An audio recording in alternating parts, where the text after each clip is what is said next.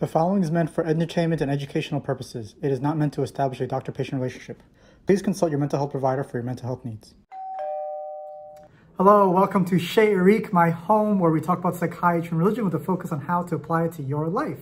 And I am Dr. Eric. I'm a psychiatrist who happens to be religious, and I'm trying to create this space where we can have a nice conversation about psychiatry and religion to hopefully enrich your life.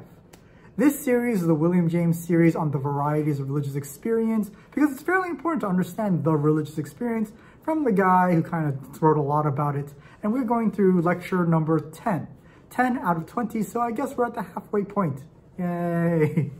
And the conversion process, uh, we, we talked about that last time in lecture 9, and he will be continuing on with conversion and kind of talk about the implications of conversion overall. Lecture 9 talks about the basics of what is conversion, and now lecture 10 is going to be talking about the implications of what we're going in. He kind of goes into more details about the psychological aspects of conversion. So let's begin. William James starts off, of course, with examples of uh, famous examples of conversion processes, and he goes through them. But then he begins to start talking about different uh, types of Christianity and their views of conversion. Uh, don't quote me on this, but he says that Protestant and Catholics, they say Christ's blood, the sacraments, and the individual's ordinary religious duties are enough for salvation. There does not need to be an acute crisis of despair and surrender, followed by relief, according to the Protestant Catholics, according to William James. And William James points out that Methodist says that unless there has been some sort of crisis or self-despair, um, you have not effectively received uh, the salvation and then Christ's sacrifice is incomplete. That is the Methodist version. Don't quote me on this.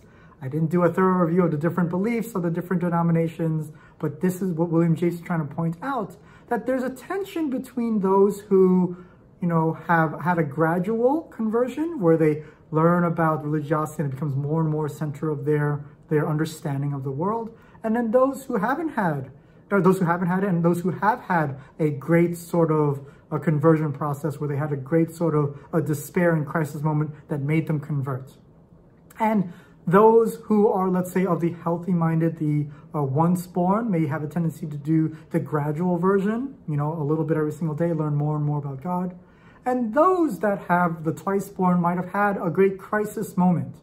And in that crisis moment, they learn about God, and then they may believe that their crisis moment is more authentic to an understanding of God versus the once born.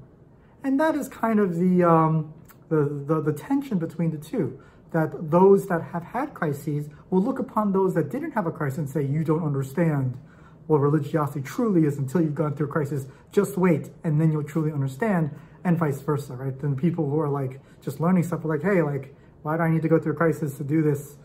Pretty, things are pretty good, and I really love God very much. Those who uh, it's natural for those who have gone through crisis to believe in miracles rather than a natural process for religious um, uh, uh, sort of religious conversion. And examples include, you know, hearing voices or lights being seen or visions or as if a higher power is interacting with you directly. So the real question is, is conversion a miracle from God or is it a natural process or is it both? Well, in order to answer this, William James has to go deeper into an understanding of psychology.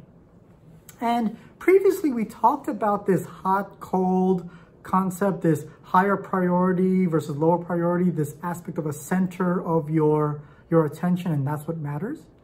So now William James wants to introduce an idea where he calls fields of consciousness. All right, and it's a trendy psychology thing that's happening at the time, although we don't really talk about fields of consciousness as much nowadays, but it's an interesting concept.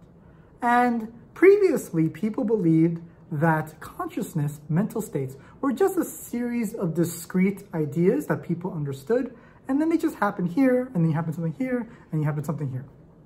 But nowadays, we kind of recognize that it's much more complicated than that and that there are sort of, before we thought that there were like discrete boundaries, but now we're realizing that there aren't discrete boundaries. It's just this great field of consciousness and it, it can be very, very wide or very, very narrow. So for example, uh, if I'm thinking about cookies and I want to eat cookies, my field of consciousness at the time is narrow to cookies. But if I'm thinking about the expanse of humanity and how humanity changed over time, then that would be a wider field of consciousness. Our mental fields can go from one interest, a center of interest to another center of interest, right? And then they all have their their margins, like at their, their edges, right? And some, again, fields are narrow and some are wide. And some people are just different. Some people have, you know, a very narrow field of view. Maybe if someone has a more simple life, they just want to view their uh, narrow, uh, narrow field of view of what they just want to worry about their family, worry about the church, and not care about anything else. And other people have a wider uh, field of view where they really want to care about humanity as a whole and, and policies and, you know, a government and how humanity should be run. And this is just sort of how the fields of view work. With this field of view concept, it really is hard to find the distinctions between different ideas and concepts and very difficult to find the margins. We know very well what's within the margins by our consciousness.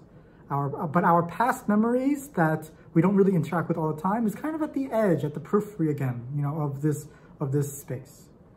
And what is believed to be a matter of consciousness is what we find uh, in inside this view. But it turns out what happens outside in these margins is really matter as well. So for example, let's say you have an old memory of a childhood. You don't really think about it all the time. But if someone jogs you, remember, you oh, remember the Christmas in your very, very first Christmas when you got that, you know, present that you really wanted? Oh, suddenly it was in the periphery and then it kind of comes back in your field of consciousness. And so William James wants to point out that understanding the mind, uh, the structure of the mind as having fields of consciousness being wide and narrow, as having priorities and low prior, high priorities and low priorities, will help us understand the conversion process. So I hope that wasn't too complicated. I hope it also is a bit intuitive, you know, the way that you interact with the world and how you understand your own memories and stuff. And we'll get deeper into it uh, next time. I'll talk to you later. Bye. Oh, do like and subscribe. Talk to you next time. Hey, how's it going? Check out my new website. It's available now. You can learn more about me. You can also check out some things I'll be offering in the future, webinars, books, and whatnot. It's a fancy website with a lot of moving parts, uh, designed by someone who's very, very talented. So check it out when you get a chance. All right, I'll talk to you later. Bye.